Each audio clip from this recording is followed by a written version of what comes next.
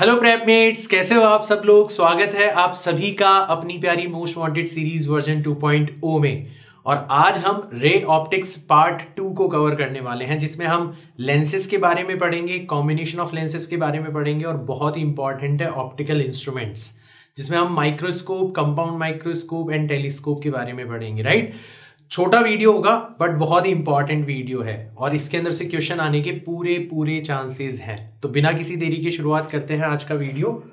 सबसे पहले concept map हमें बहुत ज़्यादा इंफॉर्मेशन याद रखने की ज़रूरत नहीं है। एक पेज के अंदर पूरी की पूरी इंफॉर्मेशन जो है वो समेटी जा सकती है। ध्यान रखना, आपकी हर इंफॉर्मेशन जो है, वो दस अलग अलग तरीके के क्वेश्चन को सॉल्व करने की पावर रखनी चाहिए। इस तरीके से इस इंफॉर्मेशन को मैंने अरेंज किया है। मैं आपको यूज़ करना सिखाऊँगा राइट पहला refraction from a curved surface अभी तक आपने एक प्लेन सरफेस से रिफ्रैक्शन होते हुए देखा था, जिसमें स्नेल्स लॉ लगाते थे आप रियल डेप्थ अपेरेंट डेप्थ वाली चीज़ें हमने लास्ट वीडियो के अंदर देखी थी।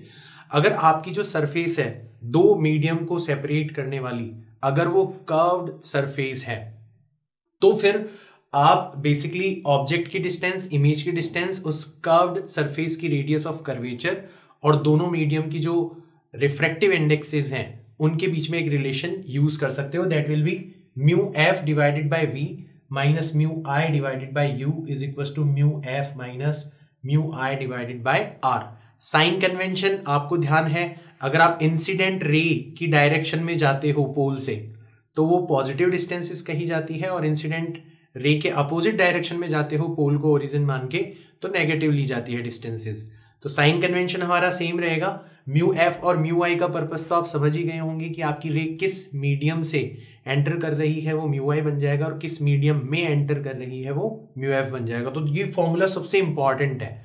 जहाँ पर आपको डायरेक्ट फॉर्मूला बेस्ड क्वेश्चन नहीं मिलेगा, वहाँ पर आपको ये फॉर्मूला बार बार लगाने की ज़रूरत पड़ सकती है। बेसिक फॉर्मूला राइट इसी को यूज़ करके हम लेंस मेकर्स फॉर्मूला निकालते हैं। यहाँ पर लेंस का मतलब क्या है कि आपने किसी मीडियम को, जो कि सराउंडिंग से अलग है दो कर्व्ड सरफेस के बीच में बाउंड करके रख दिया। तो इस तरीके से जो स्ट्रक्चर बनेगी, वो क्या कहलाएगी? आपकी लेंस कहलाएगी। दोनों सरफेसेस कर्व्ड हो, ज़रूरी नहीं है, एक कर्व्ड हो सकती है और दूसरी प्लेन सरफेस भी हो सकती है। तो अलग अलग तरीके के लेंसेज बनते हैं।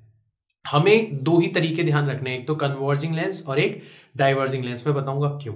सबसे पहले तो लेंस मेकर जो फॉर्मूला होगा तो बेसिकली आपने जो लेंस नाम की स्ट्रक्चर बनाई है, उसकी जो फोकल लेंथ है फोकस की जो डेफिनेशन है वो सेम रहेगी कि इनफाइनाइट से आने वाली रेज जो है, वो कहाँ पर सिमट जानी चाहिए, एक पॉइंट के ऊपर जिसको हम फोकस कहेंगे। या एक पॉइंट से निकलने वाली रेज क्या हो जानी चाहिए प्रिंसिपल एक्सिस के पैरेलल उसको भी हम फोकस कहेंगे। तो यहाँ पे प्राइमरी फोकस और सेकेंडरी फोकस इस तरीके से दो अलग अलग फोकस हो सकते हैं। तो हमने बेसिकली ये जो फॉर्मूला निकाला है, ये एक लेंस के लिए निकाला है कॉन्वेक्स भी हो सकता है कॉनकेव भी हो सकता है। One upon f will always be equal to mu l, यानी कि refractive index of material of lens minus mu s divided by mu s. Mu s is nothing but refractive index of surrounding. Times one upon r one minus one upon r two. यहाँ पर भी ध्यान रखना है, इस formula को लगाने से पहले आपको साइन कन्वेंशन ज़रूर यूज़ करना है। अगर आप कन्वर्जिंग लेंस लेते हो तो आपकी जो फोकल लेंथ है वो हमेशा पॉजिटिव होगी। और अगर आप डाइवर्जिंग लेंस लेते हो तो आपकी फोकल लेंथ हमेशा नेगेटिव होगी। कन्वर्जिंग का मतलब है कि पैरेलल रेज आएँगी लेंस से गुजरेंगी और फिर उसके बाद में एक पॉइंट के ऊपर कन्वर्ज हो जाएँगी। तो कन्वर्ज होंगी तो पक्का वो पोल या ऑप्टिकल सेंटर के उस तरफ़ होंगी जिस तरफ़ आपकी जो लाइट रेज है वो ट्रेवल कर रही है। यानी कि साइन कन्वेंशन के अकॉर्डिंग कन्वर्जिंग लेंस का फोकल लेंथ जो है वो हमेशा पॉजिटिव होनी चाहिए और डाइवर्जिंग लेंस की फोकल लेंथ जो है वो हमेशा नेगेटिव होनी चाहिए। ध्यान रखना कॉन्वेक्स लेंस जो है वो कन्वर्जिंग लेंस की तरह बिहेव करता है अगर मीडियम की रिफ्रेक्टिव इंडेक्स जिससे लेंस बनाया गया है सराउंडिंग की रिफ्रेक्टिव इंडेक्स से ज़्यादा हो, वही कॉन्वेक्स लेंस डाइवर्जिंग लेंस की तरह भी बिहेव कर सकता है अगर उस मटेरियल की जिससे लेंस बनाया गया है रिफ्रेक्टिव इंडेक्स सराउंडिंग की रिफ्रेक्टिव इंडेक्स से कम हो जाएगी। तो उस हिसाब से तय नहीं होता कि आपका लेंस कन्वर्जिंग होगा या डाइवर्जिंग होगा। ये तय होता है किससे? इन इंफॉर्मेशन से। ये जो एफ़ है, इसकी इंफॉर्मेशन से। तो आप कभी भी अगर कंफ्यूज हो जाओ तो आप तो इस फॉर्मूला को ध्यान रखना। केयरफुली आर वन और आर टू की वैल्यू साइन कन्वेंशन के अकॉर्डिंग रखना। म्यू एल और म्यू एस की वैल्यूज़ बहुत ही केयरफुली रखना। आप एफ़ की वैल्यू फाइंड आउट करना। और एफ़ अगर पॉजिटिव आ जाए तो समझ जाना लेंस किसकी तरह बिहेव कर रहा है डाइवर्जिंग लेंस की तरह। और एफ़ नेगेटिव आ जाए तो समझ जाना लेंस किसकी तरह बिहेव कर रहा है अगर एफ़ पॉजिटिव आ जाए तो लेंस बिहेव कर रहे हैं कन्वर्जिंग लेंस की तरह और एफ़ नेगेटिव आ जाए तो समझ जाना डाइवर्जिंग लेंस की तरह बिहेव कर रहा है। तो this formula is very important right इससे आप फिगर आउट कर सकते हो तो आपको बहुत सारी चीज़ें रटने की ज़रूरत नहीं है। आप इस फॉर्मूला के थ्रू आसानी से फाइंड आउट कर सकते हो right lens formula one upon v minus one upon u is equal to one upon f बिल्कुल मिरर फॉर्मूला जैसा ही है, वहाँ पर प्लस था, यहाँ पर माइनस आ जाता है। Magnification m h i upon h o ठीक है, वहाँ पर माइनस वी अपॉन यू था मिरर के केस में, यहाँ पर प्लस वी अपॉन यू हो जाएगा। साइन कन्वेंशन के साथ अपनों को रखना है। F upon f plus u और f minus v upon f तो जिस तरीके की इंफॉर्मेशन दी जाए, उस तरीके से आप इस फॉर्मूला को अप्लाई कर सकते हो। आपको इस सारे के सारे फॉर्मूलाज याद होने चाहिए, क्योंकि याद रखना ये चैप्टर उन चैप्टर्स में से एक है जिसमें आप केवल और केवल फॉर्मूलाज के बेसिस पे किसी भी न्यूमेरिकल को सॉल्व कर सकते हो right power of combination of lenses तो दो लेंसेज अगर एक दूसरे के बिल्कुल कॉन्टेक्ट में है तो जो पावर ऑफ़ लेंस होगी वो कितनी हो जाएगी? अगर फोकल लेंथ के रेस्पेक्ट में ध्यान रखना चाहो तो one upon f will always be equal to one upon f one plus one upon f two और फोकल लेंथ की जो रेसिप्रोकल uh, वैल्यू है वो ही पावर ऑफ़ लेंस कहलाती है। इसकी ऐसा यूनिट छोटी क्लासेस में याद रखते थे डायप्टर ठीक है? तो पावर के फॉर्म में लिखोगे? तो p is equal to p one plus p two मतलब ऐड हो जाती है। पावर पॉजिटिव भी हो सकती है नेगेटिव भी हो सकती है डिपेंड करता है कि आपकी फोकल लेंथ साइन कन्वेंशन के अकॉर्डिंग पॉजिटिव है या नेगेटिव है। और अगर लेंसेज के बीच में गैप है डी तो फिर आपका फॉर्मूला हो जाएगा one upon f is equal to one upon f one plus one upon f two minus d upon f one f two या पावर की फॉर्म में लिखोगे तो p is equal to p one plus p two minus d times p one p two right simple microscope जो आपका convex lens है, ठीक है? कॉन्वेक्स कन्वर्जिंग लेंस है राइट वो ही सिंपल माइक्रोस्कोप की तरह बिहेव करता है। और जब आप किसी भी ऑप्टिकल इंस्ट्रूमेंट की बात करते हो तो मैग्नीफाइंग पावर किस तरीके से निकाली जाती है? आप बिना इंस्ट्रूमेंट के आँख के ऊपर उस ऑब्जेक्ट को बिल्कुल अपनी नियर साइड पे रखते हो तो कितना एंगल बनाया जाता है। और ऑप्टिकल इंस्ट्रूमेंट के साथ जब आप उस ऑब्जेक्ट को देखने की कोशिश करते हो तो फिर आपके ऑब्जेक्टिव सॉरी आईपीस लेंस जो है आपकी आँखों पर जो एंगल बन रहा है तो इन दोनों का जो रेशियो है वो मैग्नीफाइंग पावर कहलाता है। तो हमें इतना कंफ्यूजिंग तरीके से ध्यान नहीं रखना, हमें तो डायरेक्ट फॉर्मूलाज ध्यान रखने हैं। तो यहाँ पर दो अलग अलग कंडीशंस होगी, लगभग हर ऑप्टिकल इंस्ट्रूमेंट के केस में कि आपकी फाइनल इमेज नियर साइड पर बन सकती है, यानी कि मैग्नीफाइंग पावर की मैक्सिमम वैल्यू और ज़्यादा से ज़्यादा दूर कहाँ पर बन सकती है, आपकी इन्फिनिटी के ऊपर बन सकती है। हमारी आँखों के लिए कंफर्टेबल तब होता है जब हमारी इमेज जो है वो कहाँ पर बन रही हो? इन्फिनिटी पर बन रही हो। उसको नॉर्मल मोड ऑफ़ ऑपरेशन भी कहा जाता है। तो हम दोनों अलग अलग केसेस के अंदर फॉर्मूला ध्यान रखेंगे। तो सिंपल माइक्रोस्कोप की magnifying power when image at d capital d का मतलब होता है near side that is 25 centimetre तो वहाँ पर अगर आपकी फाइनल इमेज बन रही है तो मैग्नीफाइंग पावर इसका कॉमन फॉर्मूला होता है डी अपॉन यू बट इस केस में हो जाएगा one plus d upon f और when image final image it is at infinity तो उस केस में एम जिसका common formula d upon u है, इस केस में हो जाएगा डी अपॉन एफ़ डायरेक्ट ध्यान रखना है डायरेक्ट क्वेश्चन आते हैं राइट कंपाउंड माइक्रोस्कोप जब इमेज डी पर बन रही है तो एम की वैल्यू हो जाएगी v o upon u o one plus d upon f e tube length इसमें दो लेंसेज होते हैं, जो ऑब्जेक्ट की तरफ़ होता है, उसको ऑब्जेक्टिव लेंस बोला जाता है, जो आपकी आँख की तरफ़ होता है, उसको आई पीस बोला जाता है और इन दोनों के बीच की डिस्टेंस को एडजस्ट किया जा सकता है। इन दोनों के बीच की डिस्टेंस कहलाती है ट्यूब लेंथ तो इस केस में जो ट्यूब लेंथ होगी वो वीओ प्लस यू ई के इक्वल हो जाएगा right when image at infinity उस केस में एम की वैल्यू हो जाएगी v o upon u o d upon f e और एल की वैल्यू हो जाएगी v o plus f e तो फॉर्मूलाज डायरेक्ट ध्यान रखने हैं और डायरेक्ट ये फॉर्मूलाज आपको अप्लाई करने हैं इन्फॉर्मेशन को ढंग से सेग्रीगेट करके। एस्ट्रोनॉमिकल टेलीस्कोप के लिए जब इमेज फाइनली डी पर बन रही होगी तो एम की वैल्यू हो जाएगी एफ़ अपॉन यू ई या f o upon f e times one plus f e divided by d और when image is at infinity उस केस में एम की वैल्यू हो जाएगी f o upon f e ध्यान रखना एम की वैल्यू जो है ना, वो मैग्नीट्यूड निकाल रहा हूँ। इन सारे के सारे केसेस में फाइनल इमेज जो है, वो ऑब्जेक्ट के रेस्पेक्ट में उल्टी बनती है। तो अगर आप साइन के साथ लोगे तो नेगेटिव साइन भी लगा देना बट हमें उसमें इंटरेस्ट नहीं है। हमें ये देखना है कि कितने गुना इंक्रीज हो जाती है साइज़ एल की value f o plus f हो जाएगी इस केस में और उस केस में एफ़ ओ प्लस इस केस में एफ़ ओ प्लस यू हो जाएगी और उस केस में एफ़ ओ प्लस एफ़ हो जाएगी तो ये जो पेज है आई होप इस पेज की इंफॉर्मेशन आपके लिए कोई बहुत बड़ा काम नहीं है, याद रखना राइट right? हर छोटे छोटे ऑब्जेक्ट हर छोटे छोटे पॉइंट के बारे में आपको स्पेशल जो भी इंफॉर्मेशन मैंने बताई है वो ध्यान रखनी है फॉर्मूला सारे के सारे ध्यान में रखने हैं इतनी सी इंफॉर्मेशन है? और इसके बेसिस पे आप किसी भी तरीके का क्वेश्चन कर सकते हो जो कि नीट के अंदर अपियर होने वाला है। तो क्वेश्चंस की शुरुआत करते हैं। सबसे पहला क्वेश्चन लेते हैं। Spherical surface of radius of curvature r separates air which is refractive index having refractive index one and from glass refractive index 1.5 देखो ग्लास की रिफ्रेक्टिव इंडेक्स 1.5 या थ्री बाई टू होती है। पानी की फोर बाई थ्री या 1.33 होती है और एयर की वन होती है। तो इन तीनों के ऊपर अक्सर क्वेश्चन आते रहते हैं तो इनकी रिफ्रेक्टिव इंडेक्स आप ध्यान भी रख लेना। The centre of curvature is in glass तो ऐसी आपकी एक स्फेरिकल सरफेस है, ठीक है? और इसकी जो सेंटर ऑफ़ कर्वेचर है, वो ग्लास वाली साइड पर है। इसलिए मैंने इसको ऐसा बनाया। तो इधर की तरफ़ तो है आपकी एयर और इधर की तरफ़ है आपका ग्लास ठीक है? इस तरीके से बना दिया। A point object P is place in air and found to have a real image Q तो यहाँ पर आपका एक ऑब्जेक्ट था पी और इसकी जो इमेज बन रही है वो इतनी डिस्टेंस पर बन रही है यहाँ पर क्यू पर। Q cuts the surface at a point O and P O is equal to O Q ठीक है, ये दे दिया गया है। The distance O is equal to तो हमारे लिए आसान क्वेश्चन है इंटरप्रीट करना। ठीक है? तो हमें तो फॉर्मूला लगाना है। कौन सा वाला फॉर्मूला लगाना है? Mu F divided by V mu I divided by U is equals to mu F minus mu I divided by R ठीक है? कोई दिक्कत नहीं है। ठीक है? और आंसर हमें आर की फॉर्म में देना है। म्यू एफ़ और म्यू आई हमें पता है, बात आती है यू और वी पर। और साइन कन्वेंशन बहुत इंपॉर्टेंट है राइट तो चलो केयरफुली अपन साइन कन्वेंशन लगाते हैं। सबसे पहले ऑब्जेक्ट की डिस्टेंस तो ऑब्जेक्ट तक पहुँचने के लिए लाइट जा रही है इधर, और हमें इस सेंटर से ऑब्जेक्ट तक पहुँचने के लिए उसके जस्ट अपोजिट डायरेक्शन में चलना पड़ रहा है।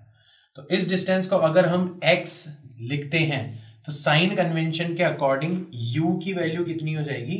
माइनस एक्स हो जाएगी।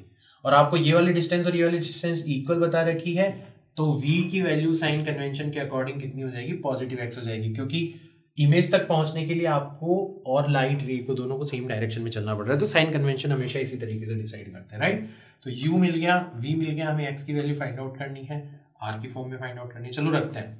म्यू f फाइनली ग्लास के अंदर एंटर कर रही है तो ग्लास की रिफ्लेक्टिव इंडेक्स कितनी है? 1.5 v की वैल्यू कितनी है? x माइनस ये कितना है? 1 u की वैल्यू कितनी है? माइनस एक्स यहाँ पर हो जाएगा 1.5 point five minus one that is 0.5 divided by r ये माइनस माइनस प्लस हो जाएगा। तो 1.5 x plus one upon X is equal to point five divided by R. ये दोनों ऐड हो जाएँगे। तो 2.5 अपॉन एक्स जो है, वो 0.5 डिवाइडेड बाय आर के इक्वल हो जाना चाहिए। ठीक है? यहाँ पर पॉइंट से पॉइंट कैंसिल आउट किया जा सकता है, पाँच से ये कैंसिल आउट किया जा सकता है पाँच बार। तो एक्स की वैल्यू आ जाएगी फाइव टाइम्स r यानी कि ऑप्शन नंबर फोर जो है, वो क्या हो जाना चाहिए करेक्ट हो जाना चाहिए। तो बच्चों, मैं पहले ही कह रहा हूँ, बहुत आसान से क्वेश्चन होते हैं, ये केवल और केवल टफ इसलिए हो जाते हैं कि आप साइन कन्वेंशन लगाने में या फिर इंफॉर्मेशन को कलेक्ट करने में कहीं ना कहीं गलती कर देते हो, और वो गलती आपको नहीं करनी, आपका क्वेश्चन आसानी से हो सकता है। नेक्स्ट क्वेश्चन देखते हैं। Two convex lens of focal length 20 centimetre and 25 centimetre are placed in contact with each other तो जब तक कहा नहीं जाए, तब तक आपको कॉन्वेक्स लेंस कैसा मानना है, जो कि कन्वर्जिंग टाइप हो, यानी कि मीडियम जिससे बना हुआ है, उसकी रिफ्रेक्टिव इंडेक्स सराउंडिंग की रिफ्रेक्टिव इंडेक्स से ज़्यादा है। तो रिफ्रेक्टिव इंडेक्स ज़्यादा होने का फिर फ़र्क क्या पड़ेगा? ये कन्वर्ज कर देगा, ठीक है? इस तरीके से। तो इसका जो फोकस पॉइंट है या इसकी जो फोकल लेंथ हो कैसी हो जाएगी? पॉजिटिव हो जाएगी। तो कॉन्वेक्स लेंस के लिए जो फोकल लेंथ है, वो पॉजिटिव होगी। तो पावर भी कितनी होनी चाहिए आपकी? पॉजिटिव होनी चाहिए राइट तो two convex lens of focal length 20 centimetre and 25 centimetre तो पहले की पावर हो जाएगी one upon twenty twenty centimetre को ट्वेंटी डिवाइडेड बाय हंड्रेड लिखा जा सकता है तो डिवाइडेड बाय हंड्रेड चला जाएगा ऊपर. और पी हो जाएगी ट्वेंटी फाइव सेंटीमीटर यानी कि वही हंड्रेड डिवाइडेड बाय ट्वेंटी देखो वन अपॉन एफ़ लगा रहा हूँ, फिर एफ़ की वैल्यू ट्वेंटी अपॉन हंड्रेड है ना? इतना तो समझ में आ रहा होगा आपको। तो इसकी वैल्यू तो आ जाएगी फाइव और इसकी वैल्यू आ जाएगी फोर तो नेट पावर जो होती है वो P one plus P two के इक्वल होती है और दोनों पावर्स प्लस है तो ऐड हो जाएँगी फाइव प्लस फोर कितना आ जाएगा आपका नाइन डायप्टर यानी कि ऑप्शन नंबर टू जो है वो क्या हो जाना चाहिए? करेक्ट हो जाना चाहिए. आसान क्वेश्चन है? नेक्स्ट क्वेश्चन देखते हैं. An equiconvex lens has has a power of 5 diopter. Equiconvex. ठीक है? इक्विकॉन्वेक्स का मतलब है जिसकी दोनों रेडियस जो है वो इक्वल है मैग्नीट्यूड के अंदर। साइन कन्वेंशन के अकॉर्डिंग हम उनका साइन देखते रहेंगे right has a power of five dioptre if it is made of glass of refractive index 1.5 then radius of curvature of its surface will be तो देखो, जिस मटेरियल से ये बनी हुई है, उसकी रिफ्रेक्टिव इंडेक्स है 1.5 और इसका जो सराउंडिंग मटेरियल है, जब तक कहा नहीं जाए एयर मानना है, उसकी रिफ्लेक्टिव इंडेक्स होती है वन इसकी जो पावर है, वो फाइव डायोप्टर है और पावर पॉजिटिव है कॉन्वेक्स लेंस है ना? तो इसकी जो फोकल लेंथ है, वो भी पॉजिटिव हो जाएगी और उसकी वैल्यू हो जाएगी वन अपॉन फाइव मीटर्स ठीक है? और वन अपॉन फाइव मीटर्स को जब आप सेंटीमीटर में कन्वर्ट करोगे तो हंड्रेड से मल्टीप्लाई कर देना। तो hundred divided by five that is twenty centimetre. ये इसकी क्या हो जाएगी? फोकस, फोकल लेंथ हो जाएगी राइट जहाँ तक जो जो कहा जा रहा है, वो हम करते जा रहे हैं right if it is made of glass of ये तो हम लेंस मेकर्स फॉर्मूला अप्लाई करेंगे, जो कि कहता है one upon F is equal to mu L minus mu S divided by mu S one upon R one minus one upon R two अगर आप कॉन्वेक्स लेंस को देखोगे, ठीक है? तो जो पहली वाली सरफेस है, उसका रेडियस इधर की तरफ़ होता है। यानी कि पॉजिटिव साइड में। और जो दूसरी वाली है, उसका रेडियस इधर की तरफ़ होता है, यानी कि नेगेटिव साइड में। साइन कन्वेंशन हमें ध्यान रखना है। तो वन अपॉन एफ़ यानी कि one upon twenty centimetre is equal to mu L minus mu S तो one point five minus one करेंगे तो पॉइंट फाइव रह जाएगा। Divided by one one upon R ये तो पॉजिटिव हो जाएगी। और ये वाली नेगेटिव हो जाएगी तो माइनस माइनस आर। ये माइनस और ये माइनस मिलके क्या हो जाएँगे? प्लस। तो इसको गायब कर देते हैं अपन राइट और one upon R, one upon R add होके कितने हो जाएँगे? टू अपॉन आर हो जाएँगे। तो is equal to zero point five into two upon R. Two into zero point five one हो जाएगा। यानी कि आर की वैल्यू आ जाएगी simply twenty centimetre. Option number one जो है, वो करेक्ट हो जाना चाहिए right next question A glass convex lens has a focal length of 8 cm when placed in air. And what would be the focal length of the lens when it is immersed in water? तो पहले case में जो focal length है उसके लिए formula लग जाएगा one upon F one यानी कि one upon eight centimetre convex lens है तो पॉजिटिव लेंगे इज़ इक्वल टू ग्लास है और पहले एयर के अंदर रखा हुआ था। तो 1.5 point five minus one divided by one times one upon R one minus one upon R two हमें नहीं पता आर वन आर टू कितना है। दूसरे केस में ये कितना हो गया? One upon F two is equal to अब की बार आपने कहा रख दिया इसको? With focal length of the lens when it is immersed in water तो मटेरियल तो आपकी बार 1.5 1.5 को 3 बाय टू भी लिखा जा सकता है बट सराउंडिंग कौन हो गया? वाटर तो वाटर के लिए जो रिफ्लेक्टिव इंडेक्स होती है, उसको 1.33 भी लिख सकते हो। कैलकुलेशन आसान हो जाए इसलिए फोर बाय थ्री लिख लो, ज़्यादा आसान रहेगा right one point three three को आप one by one four by three भी लिख सकते हो। डिवाइडेड बाय सराउंडिंग की reflective index that is four by three times one upon R one minus one upon R two अब ये हमारे किसी काम का नहीं है। तो हम क्या करते हैं? इस इक्वेशन से इस इक्वेशन को डिवाइड कर देते हैं। थोड़ा सा इसको और प्यार से लिख लेते हैं। One upon F two is equal to अगर यहाँ पर देखोगे तो three into three nine four into two eight तो नाइन माइनस एट बचेगा one one divided by six बचेगा। वन डिवाइडेड बाय सिक्स ये ऊपर चला जाएगा three divided by four times one upon R one minus one upon R two three से six cancel हो जाएगा तो वन अपॉन एफ़ टू की वैल्यू बचेगी।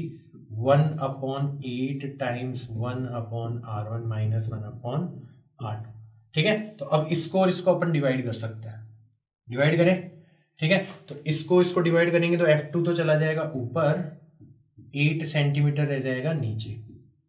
इसको इसको डिवाइड करेंगे तो ये एट चला जाएगा ऊपर और वन पॉइंट फाइव में से वन चला गया तो कितना बचेगा? Zero point five into eight हो जाएगा। और ये पूरा का पूरा ब्रैकेट और ये पूरा का पूरा ब्रैकेट एक दूसरे को कैंसिल आउट कर देंगे, ठीक है? तो एफ़ टू की वैल्यू निकालनी थी हमें।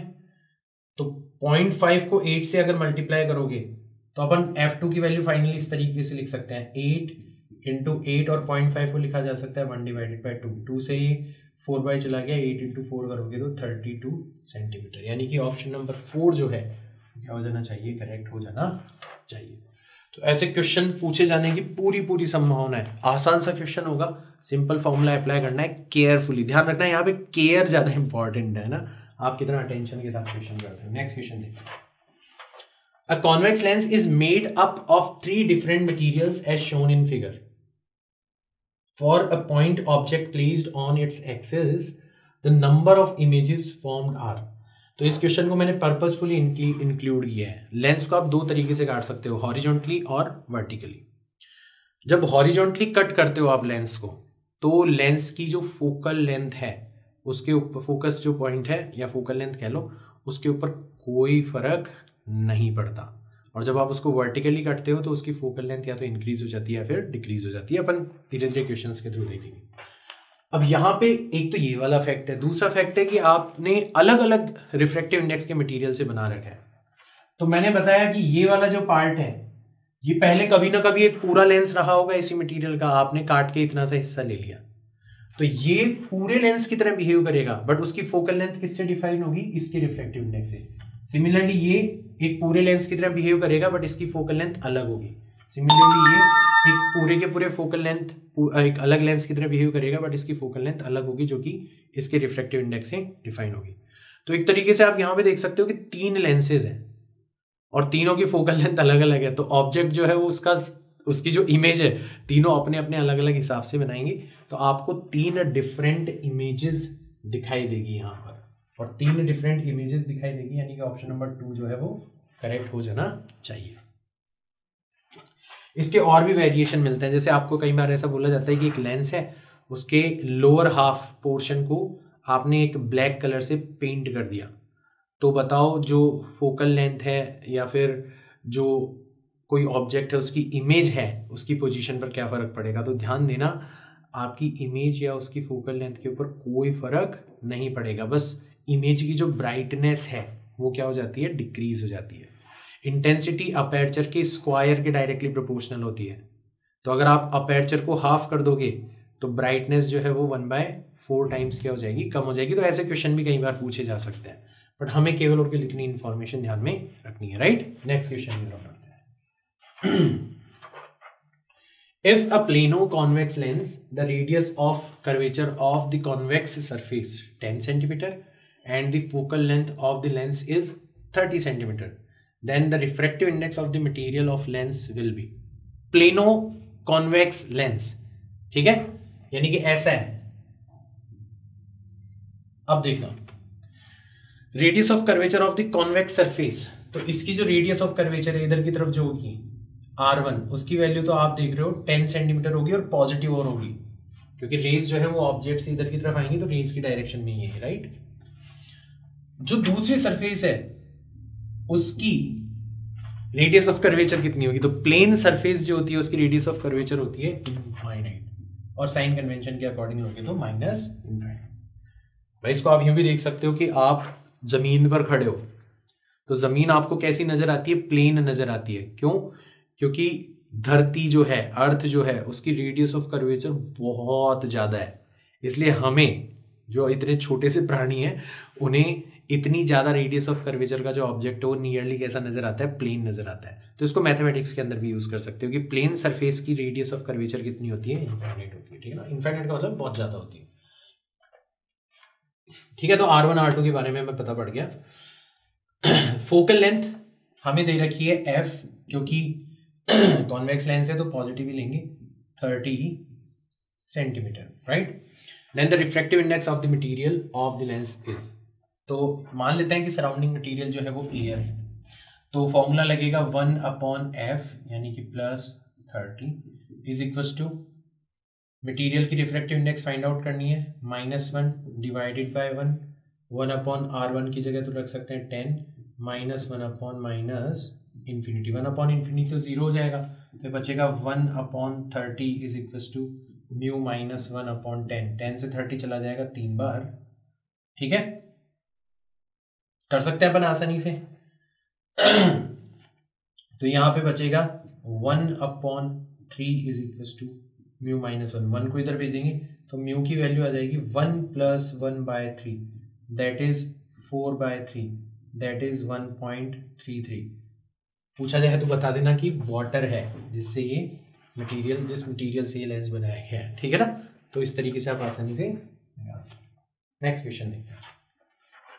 The focal length of convex lens is 2.5 centimetre its magnifying power for minimum distance of distinct vision तो सबसे पहले तो ध्यान रखना, एक अकेला कॉन्वेक्स लेंस किसकी तरह बिहेव करता है? सिंपल माइक्रोस्कोप की तरह।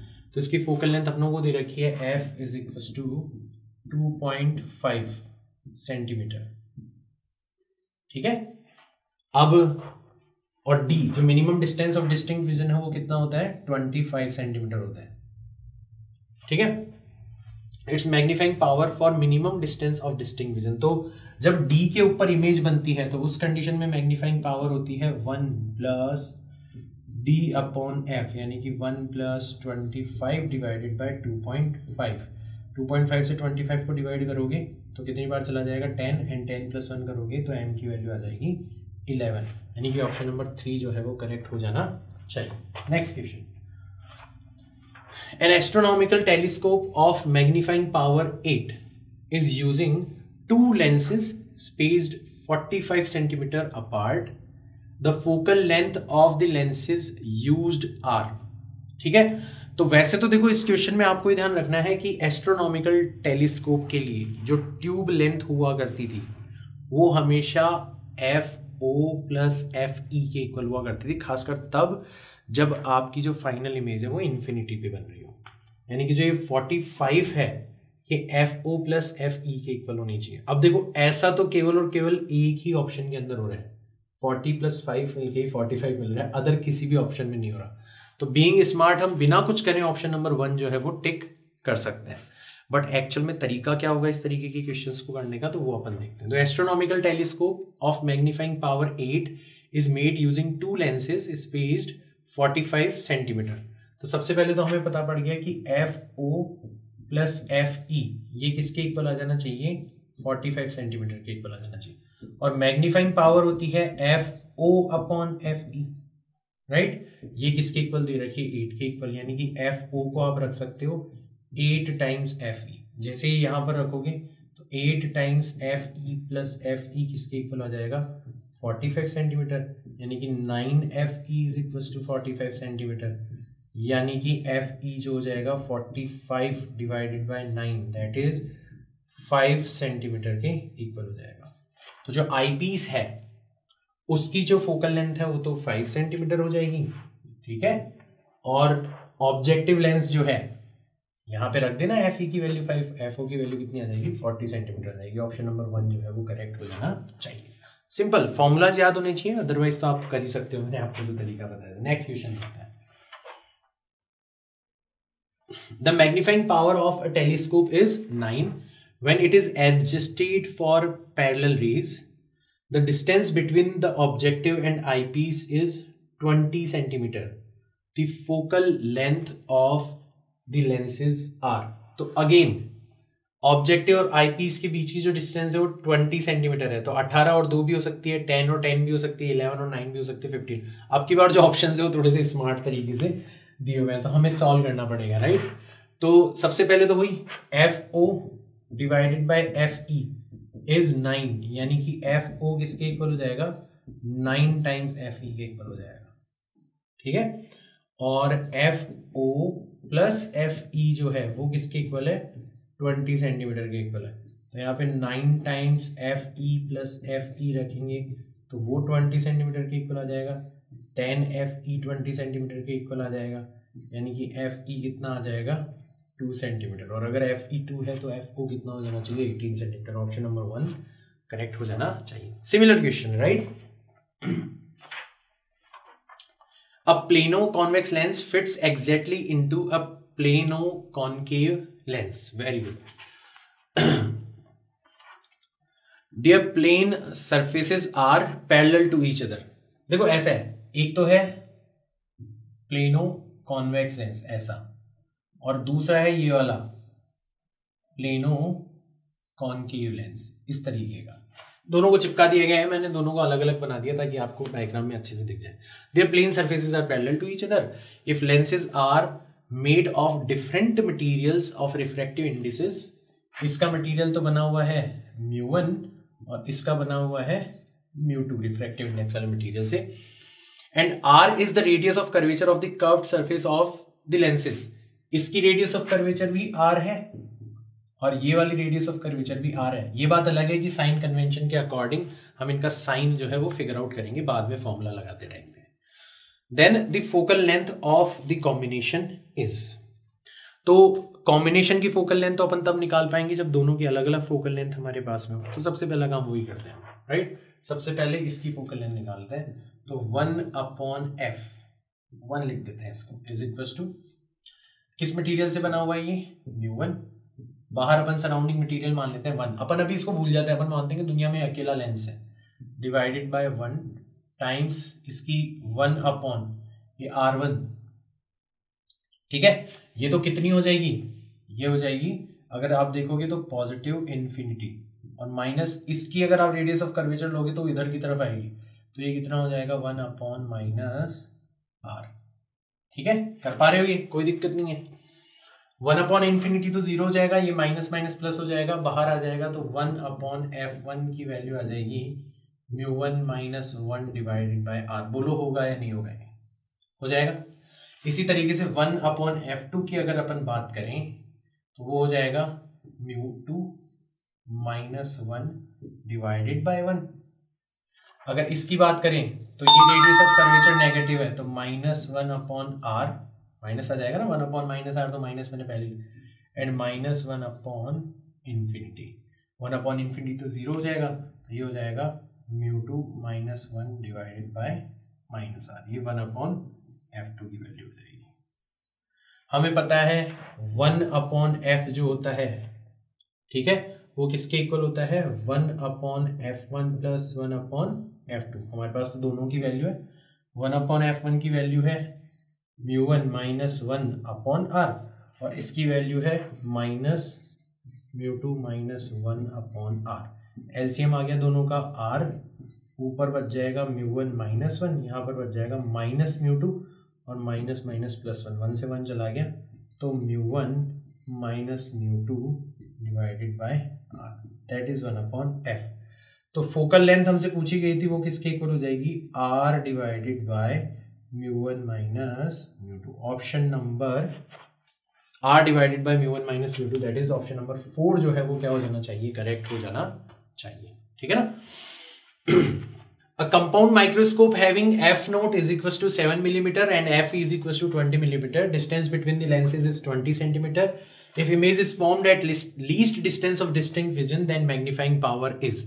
तो अब इस क्वेश्चन को थोड़ा सा केयरफुली करना है क्योंकि इसके अंदर जो इन्फॉर्मेशन दी हुई है वो मिसिंग पीसेस के साथ है मतलब हमें फाइंड आउट करके लाना होगा कि फॉर्मूले के अंदर कहाँ कहाँ से कौन कौन सी जानकारी चाहिए तो सबसे पहले तो हमें मैग्नीफाइंग पावर फाइंड आउट करनी है जब फाइनल इमेज कहाँ पर बन रही है लीस्ट डिस्टेंस पर बन रही है ऑफ़ डिस्टिंग विजन राइट तो उस केस में मैग्नीफाइंग पावर हुआ करती थी। V O divided by U O times one plus D upon F E अब देखो हमें डी पता है 25 सेंटीमीटर होता है। एफ़ ई e हमें दे दिया गया है 20 मिलीमीटर हमें ना तो वी ओ पता है, ना ही यू ओ पता है। लेकिन हमें यह ज़रूर पता है कि वी ओ और यू ओ ऑब्जेक्टिव लेंस से रिलेटेड है। और ऑब्जेक्टिव लेंस के लिए अगर हम लेंस फॉर्मूला लगाएँगे तो बनेगा वन अपॉन वी ओ ये पॉजिटिव होगा क्योंकि इमेज जो है, पहले लेंस से ऑब्जेक्टिव लेंस से दूसरी तरफ़ बनती है। Minus one upon minus U O object जो है वो लेंस के एक तरफ़ रखा हुआ होता है और उधर से लाइट रेज आती है। तो लेंस से ऑब्जेक्ट तक जाने के लिए आपको लाइट रेज के अपोजिट डायरेक्शन में चलना पड़ेगा तो साइन कन्वेंशन के अकॉर्डिंग ये नेगेटिव क्योंकि लेंस हमारा कॉन्वेक्स लेंस होता है कन्वर्जिंग लेंस होता है तो फोकल लेंथ अपन लिख सकते हैं positive that is F O तो ये बन जाएगा one upon V O plus one upon U O is equal to one upon F O. ध्यान दो हमें, एफ़ ओ दे रखा है, राइट? और यू ओ और वी ओ के बारे में हमसे जानकारी पूछी गई है। तो मैं क्या करता हूँ, इस पूरी इक्वेशन को वी ओ से मल्टीप्लाई कर देता हूँ। तो यहाँ पे तो बच जाएगा वन, यहाँ पे आ जाएगा V O upon U O और यहाँ पे आ जाएगा V O upon F O. ठीक है? तो अब मुझे पता पड़ गया कि V O upon U O इसकी जगह हम चाहें तो V O upon F O minus one ये वाली इंफॉर्मेशन भी यूज़ कर सकते हैं। तो हमारा जो फॉर्मूला होगा वो चेंज हो जाएगा। V O divided by F O minus one times one plus D upon F E अब देखो, एक कैंडिडेट खत्म हो गया। अब हमें तीन चीज़ें पता है। हमें एफ़ ओ पता है डी पता है एफ़ ई पता है। वी ओ नहीं पता अभी तक भी। चलो इसको भी ढूंढ के लेके आते हैं। तो उसके लिए हम क्या करेंगे? हमें पता है एल जो होता है, किसके इक्वल होता है? V O plus U E के इक्वल होता है। अगर मैग्नीट्यूड्स को ऐड करें तो राइट वी ओ कितना होगा और यू ई कितना होगा? अब हमें एल पता है बट यहाँ पे यू ई नहीं पता। तो इसको ढूंढ के लेके आएँगे हम। तो इसके लिए जब, जो आईपीस लेंस है, उसके लिए जब अपन मिरर लेंस फॉर्मूला लगाएँगे तो वो बनेगा वन अपॉन फाइनल इमेज कहाँ पर बन रही है? माइनस डी पर। क्योंकि इस केस में आईपीस से जो इमेज बनती है ना, वहाँ तक पहुँचने के लिए आपको लाइट रेज के अपोजिट डायरेक्शन में जाना पड़ता है।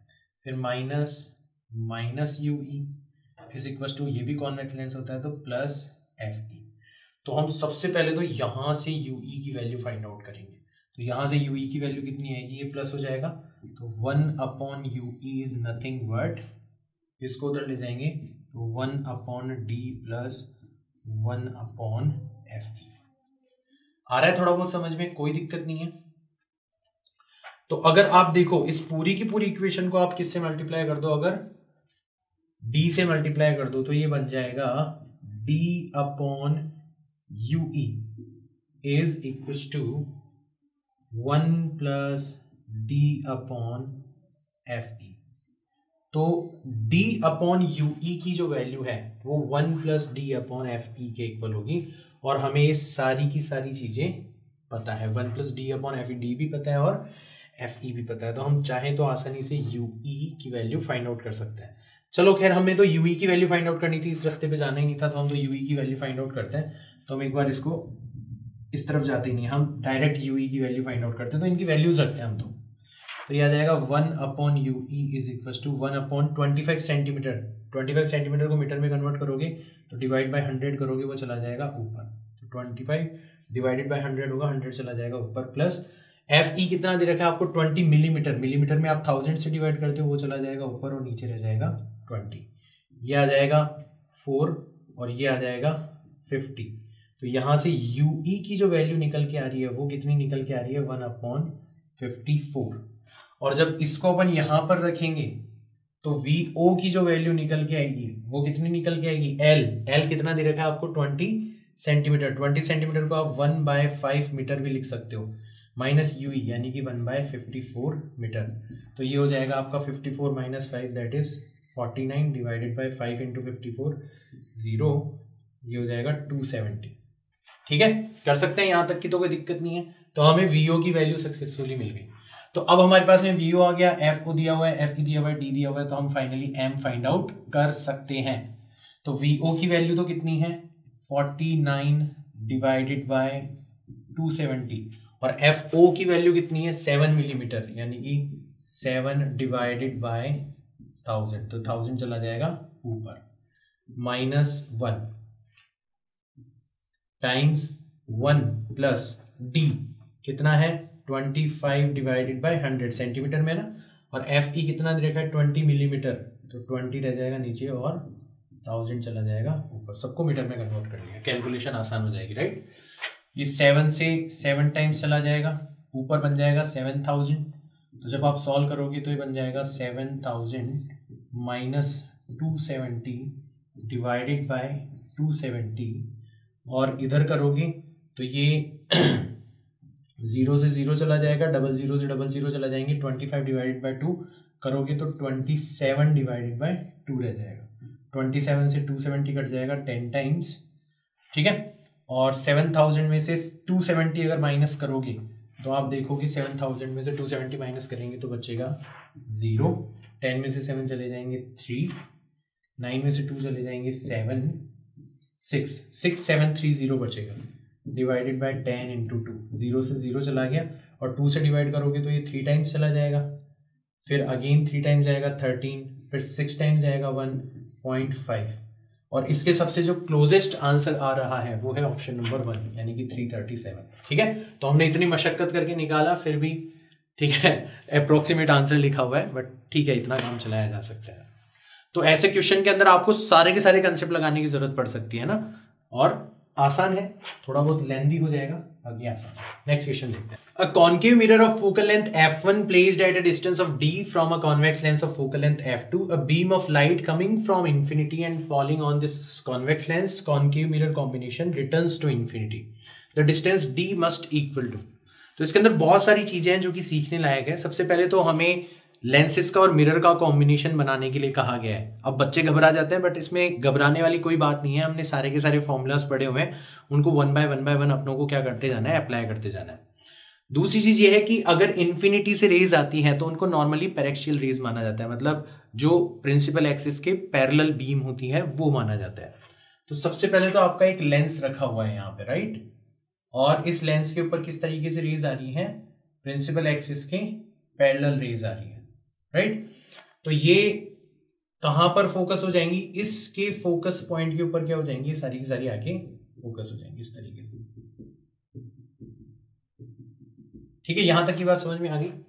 तो ये जो डिस्टेंस है, ये कितनी हो जाएगी? हमारी फोकल लेंथ F2 के इक्वल हो जाएगी। कॉन्वेक्स लेंस की जो फोकल लेंथ है, वो कितनी दे रखी है? F2 और ध्यान रखना, ये पॉजिटिव होगी साइन कन्वेंशन के अकॉर्डिंग हमें जब ये F1 F2 दी जाती है ना तो इनके अंदर साइन इंक्लूडेड होता है। देखना इसकी वजह से अभी थोड़ा बहुत आपको आंसर के अंदर हो सकता है कंफ्यूजन हो जाए बट उसको मैं क्लैरिफाई करने की कोशिश करूँगा। अब आपको इसके आगे एक मिरर रखना है। मिरर पर टकराएँगी ये सारी की सारी रेज और फिर उसके बाद में वापस से ये इन्फिनिटी तक लौट जानी चाहिए। तो ऐसे क्वेश्चन में आपको ध्यान देना कि यार, ये काम तो केवल और केवल तब हो पाएगा जब इमेजेस जो है मिरर के बाद में अपनी जो पाथ है, अपना जो पाथ है, उसको दोबारा से क्या करने लग जाए? ट्रेवर्स करने लग जाए। तो आप मिरर को किस डिस्टेंस के ऊपर रखोगे? आप मिरर को जानबूझ के ऐसी डिस्टेंस के ऊपर रखोगे। एक तरीके से इन पैरेलल रेस को इन्होंने यहाँ पर फोकस कर दिया तो इस मिरर के लिए तो अब ये सोर्स की तरह बिहेव कर रहा है। अब आप सोचो कि अगर इससे हमें खूब सारी लाइट की रेज निकालनी है, और उनको टकरा के वापस से अपना पाथ रिट्रेस करना है तो उस सारी की सारी रेज कैसे अपियर होनी चाहिए? नॉर्मली अपियर होनी चाहिए। और एक स्फेरिकल मिरर के लिए जो नॉर्मल होता है, वो उसकी हमेशा कहाँ से निकलता है? सेंटर ऑफ़ कर्वेचर से निकलता है। तो ये इस मिरर का क्या बन जाना चाहिए? सेंटर ऑफ़ कर्वेचर तभी यहाँ से जितनी भी रेज निकलेंगी, वो सब टकरा के क्या हो जाएँगी? वापस से लौट जाएँगी। ये टकराएगी और वापस से लौट जाएगी। ये टकराएगी और वापस से लौट जाएगी। और वापस से लौट जाएगी, इसीलिए अपने पाथ को रिट्रेस करेगी और फिर वापस से लेंस के बाद में क्या हो जाएगी? पैरल हो जाएगी। तो हमें पता पड़ गया कि ये जो पॉइंट है, इस मिरर का क्या होना चाहिए? सेंटर ऑफ़ कर्वेचर होना चाहिए। अब अगर आप यहाँ से इस पॉइंट तक आ रहे हो तो आपकी जो डिस्टेंस है, वो साइन कन्वेंशन के अकॉर्डिंग कितनी होनी चाहिए? Minus twice of F one होनी चाहिए। अब ध्यान दो, ये जो कॉन्केव मिरर है ना, इसकी फोकल लेंथ ओवरऑल नेगेटिव होती है। तो यहाँ पे जब नेगेटिव रखोगे ना तो नेगेटिव नेगेटिव अपने आप ही पॉजिटिव हो जाएगा। ओवरऑल ये डिस्टेंसेस हमेशा ऐड ही होंगी। बट हमें तो बोल दिया गया कि यार इसकी फोकल लेंथ एफ़ वन है तो उसके अंदर नेगेटिव साइन छुपा हुआ है। इसलिए हम साइन कन्वेंशन के साथ यहाँ पर रखेंगे। ये डिस्टेंस हो जाएगी पॉजिटिव एफ़ टू और ये डिस्टेंस हो जाएगी minus twice of F two centre of curvature जो होता है, पता है ना? Focal length radius of curvature की हाफ़ की इक्वल होती है। तो ये दोनों के बीच की जो डिस्टेंस है डी वो पक्का किसके इक्वल हो जानी चाहिए? इनके सम के इक्वल हो जानी चाहिए। यानी कि F two minus two F one और हमारा जो ऑप्शन है two F one minus F plus F two इसको पहले लिख लिया, इसको बाद में लिख लिया। ऑप्शन नंबर टू जो है, क्या हो जाना चाहिए? करेक्ट हो जाना चाहिए। ध्यान दो कंफ्यूज मत हो जाना। आपको लग रहा होगा कि सर इसमें से इसको माइनस किया बट ऐसा है नहीं। हमें जो F2 है, ये अपने आप पॉजिटिव नंबर होगा। और जो F1 है, क्योंकि वो कॉन्केव मिरर की फोकल लेंथ है तो अपने आप नेगेटिव नंबर होगा। नेगेटिव नेगेटिव पॉजिटिव होकर ओवरऑल ये दोनों डिस्टेंसेस ऐड होंगी तो उसकी टेंशन आपको लेने की ज़रूरत नहीं है। तो ऐसे क्वेश्चन को आपको थोड़ा बहुत पेशेंस के साथ करना है। छोटी छोटे कॉन्सेप्ट जो है, वो अप्लाई करते जाना है। आप क्वेश्चन के आंसर तक पहुँच जाओगे। नेक्स्ट क्वेश्चन देखते हैं, फटाफट से। For a normal eye, the cornea of eye provides a converging power of 40D and the least converging power of the eye lens behind the cornea is 20D. Using this information, the distance between the retina and the cornea eye lens can be estimated. तो अगर हम दोनों lenses को combine कर दें तो वो कुल मिला के कहाँ पर फोकस करती है कॉर्निया के ऊपर फोकस करती है राइट सॉरी कॉर्निया क्या? मतलब आपकी जो स्क्रीन है, ठीक है? उसके ऊपर फोकस करती है। तो the distance between the retina sorry retina बोलते हैं उस उस आई के उस पोर्शन को जहाँ पर फाइनली आपकी इमेज जो है वो फोकस करी जाती है कॉर्निया लेंस के द्वारा और आई लेंस के द्वारा। उस पर्टिकुलर फ्रेम को क्या बोला जाता है? रेटिना बोला जाता है। तो रेटिना के ऊपर फोकस करना है हमें। तो इन दोनों लेंसेज की पावर को हमें कंबाइन करना है। तो टोटल पावर कितनी हो जाएगी? 40 प्लस ट्वेंटी क्योंकि दोनों कॉन्वेक्स होते हैं नेचर के अंदर तो 60 डी हो जाएगी। और हमें पता है जो फोकल लेंथ होती है, वो पावर की रेसिप्रोकल के इक्वल होती है, यानी कि वन अपॉन सिक्सटी ये मीटर्स के अंदर आएगा सेंटीमीटर्स में कन्वर्ट करने के लिए हंड्रेड से मल्टीप्लाई कर देंगे ज़ीरो से ज़ीरो चला जाएगा। या जाएगा फाइव डिवाइडेड बाय थ्री जब डिवाइड करोगे तो one point six six six तो उसको वन पॉइंट सिक्स सेवन भी लिख सकते हो ऑप्शन नंबर फोर जो है वो करेक्ट हो जाना चाहिए। आसान क्वेश्चन है राइट नेक्स्ट क्वेश्चन देखते हैं। Two identical thin plano convex glasses glass lens, each having radius of curvature 20 centimeter, are placed with their convex surfaces in contact. तो ऐसे रखे हुए हैं। एक इस तरीके से रखा हुआ है और दूसरा इस तरीके से रखा हुआ है। और इन दोनों के बीच वाला जो हिस्सा है the intervening space is filled with oil of refractive index 1.7 the focal length of the combination is तो एक तरीके से तीन लेंस बन गए हमारे। एक ये वाला बन गया, एक ये वाला बन गया और एक ये वाला बन गया। तीनों की अलग अलग फोकल लेंथ निकाल सकते हैं। और फिर तो हम कॉम्बिनेशन ऑफ़ फोकल लेंथ वाला फंडा लगा सकते हैं। तो देखो फ़र्स्ट लेंस की निकालते हैं। One upon f one is equal to ठीक है? किससे बना हुआ है? Two identical thin plano convex glass lenses 1.5 से बना हुआ है। तो 1.5 minus one divided by one R one की जगह तो आ जाएगा इन्फिनिटी आर टू की जगह आ जाएगा। ये इधर की तरफ़ है। नेगेटिव साइन तो माइनस कितना है रेडियस ऑफ़ कर्वेचर ट्वेंटी ठीक है? माइनस माइनस प्लस हो जाएगा। वन अपॉन इन्फिनिटी ज़ीरो हो जाएगा। तो वन अपॉन एफ़ वन की वैल्यू आ जाएगी। वन पॉइंट फाइव में से वन चला गया तो पॉइंट फाइव और यहाँ पर बच जाएगा। ये तो हो गया ज़ीरो वन बाय ट्वेंटी। ठीक है? कर सकते हैं अपन। पॉइंट हटेगा, एक और ज़ीरो लग जाएगा। तो एफ़ वन और ये फाइव से कट जाएगा फोर्टी टाइम्स ठीक है? तो एफ़ वन की वैल्यू आ जाएगी फोर्टी सेंटीमीटर अगर आप इसकी निकालोगे तो इसकी भी कितनी निकल के आएगी? फोर्टी सेंटीमीटर निकल के आएगी, क्योंकि दोनों आइडेंटिकल है। ठीक है? कर सकते हैं अपन ये तो कोई दिक्कत नहीं है। तो एफ़ वन भी ये आ गई, और एफ़ थ्री भी कितनी आ गई आपकी?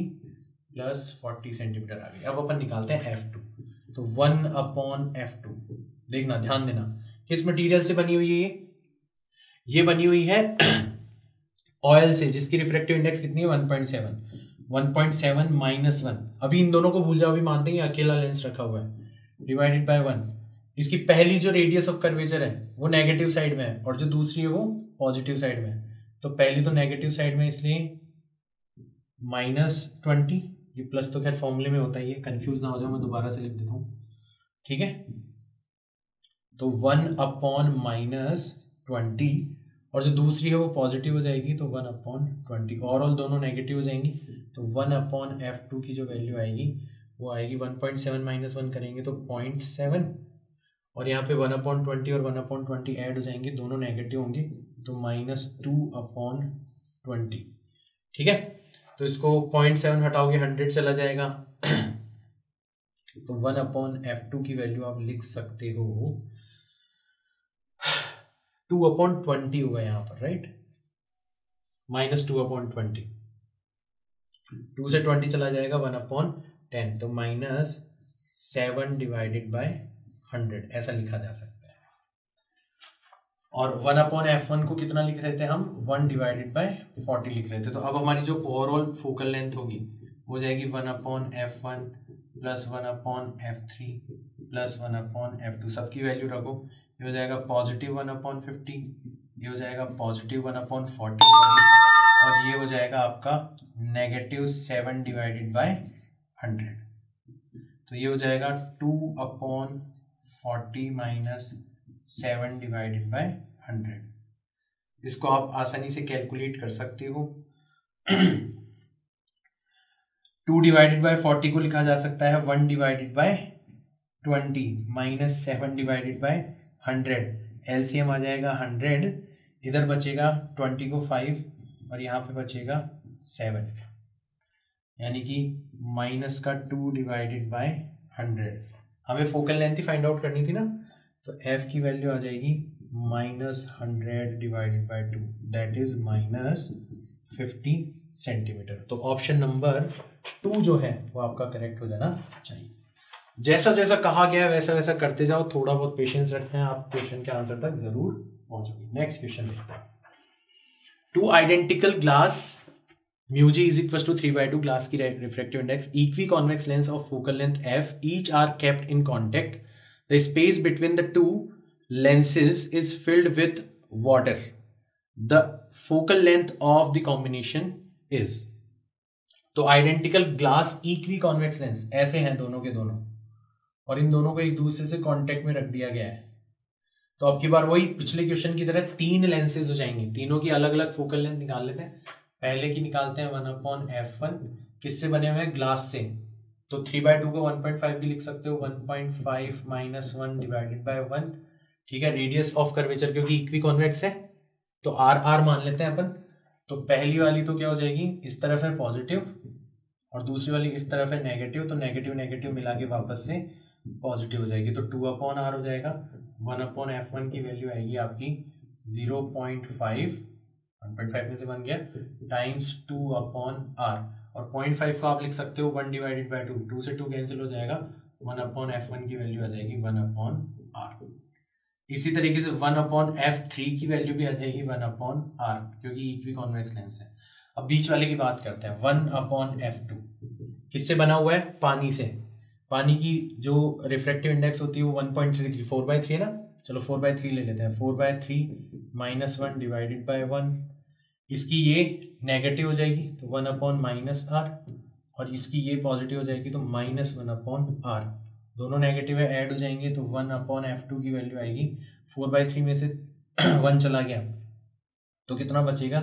वन डिवाइडेड बाय थ्री और यहाँ पे आ जाएगा आपका minus two divided by R आपने टोटल फोकल लेंथ निकालनी है आपको राइट तो आप क्या करोगे? One upon f is equal to one upon f one that is one upon R one upon f three that is one upon R and one upon f two that is minus two upon three R three R आ जाएगा LCM इधर बचेगा three इधर बचेगा three और इधर बचेगा two three plus three six minus two करेंगे four तो four divided by three R तो एफ़ की वैल्यू आ जाएगी three by four times R और अगर आप इन दोनों लेंसेज की जो फोकल लेंथ है वो दी हुई है ना एफ़ तो वो एफ़ आर के इक्वल है तो इस आर की जगह आप एफ़ भी लिख सकते हो, ये एफ़ टोटल लिख लो, ठीक है ना इसको?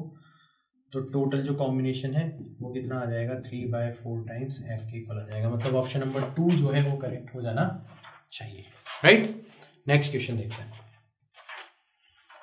Least distance of distinct vision is 25 centimeter. What will be the magnifying power of simple microscope of focal length 5 centimeter if final image is formed at minimum distance of distinct vision. तो उस case में magnifying power हो जाती है one plus D upon f one D दे रखा है twenty five centimetre और focal length कितनी दे रखी है?